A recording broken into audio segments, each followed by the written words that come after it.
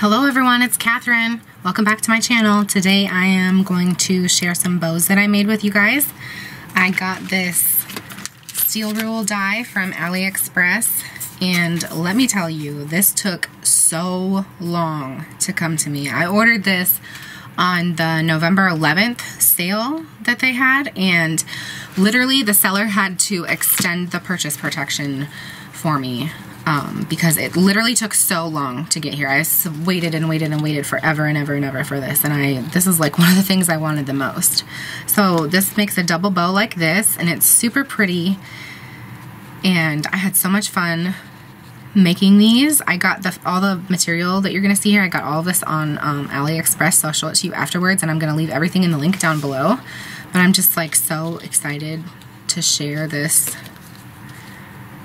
uh, stuff with you guys. Look at how pretty this is.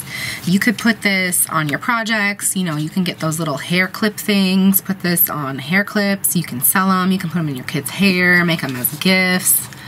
This reminds me of like something you would put like on a jelly shoe. But it's so cute.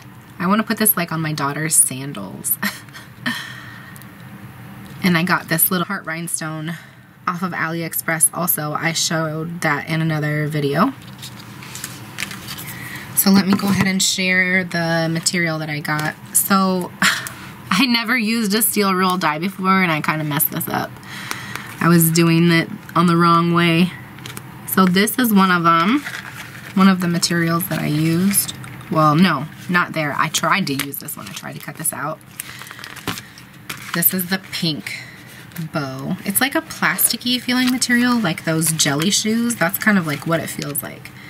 And it like comes, I don't know if it came flat or rolled up. I don't remember, but it has like this plastic film on it that you need to take off after you, like after you cut it. I left it on there while I cut it. Cause do you see that bubbling right there? That's that plastic protective film so the stuff doesn't get scratched. So don't worry, that comes off if you see that. But it does, it stinks. Like I wouldn't be surprised if this stuff was highly flammable. I got this pretty color. I hope these colors don't all look the same.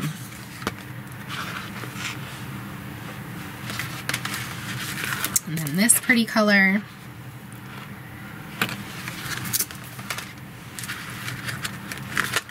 And this bluish color. And then this is like clear, like transparent. The other one was like white. This is like clear. And then this is like the rainbowy stuff that this was, these and these are both made out of the same material. I got two sheets of this and then this one.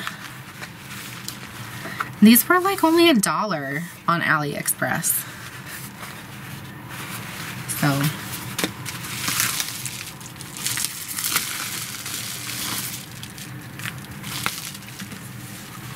In case you're wondering though, like this is how much it used. I didn't like cut each piece out individually. I just kind of, this is how much that used though. Like you could take and cut these off for scraps, but I literally do not know what I'm going to do with the scraps. So I only have one. This is the only steel rule die that I have besides like one Tim Holtz like I think it's like a clipboard, like a DIY clipboard one. So I really like this a lot. It's really easy to put together and this thing is long enough where you're not trying to pinch it off at the last minute. I hate when those things are too short. It's so annoying. I'd rather have it too long and cut it myself than have it be too short. I cannot tell you how annoying that is when this thing is too short. It drives me nuts.